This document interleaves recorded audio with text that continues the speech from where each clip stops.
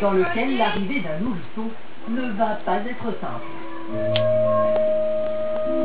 Il faudra que je prépare le repas entre les tétés, il faudra que je coiffe l'enfant entre les tétés, donc ça va être euh, plus rapide encore. Une perspective qui commence un peu à angoisser Ludvika. Dans les moments euh, de, euh, où j'en ai marre, où vraiment des fois je me dis euh, stop, j'en peux plus, quand je suis vraiment euh, une fatigue ou quoi que ce soit, je me dis pourquoi j'en ai fait autant Pourquoi s'y rapprocher et pourquoi autant en fait C'est vrai qu'on arrive des fois à douter de, soi-même, quoi, à dire je serais pas capable. Des fois j'ai l'impression que je serais pas capable de faire euh, autant. euh,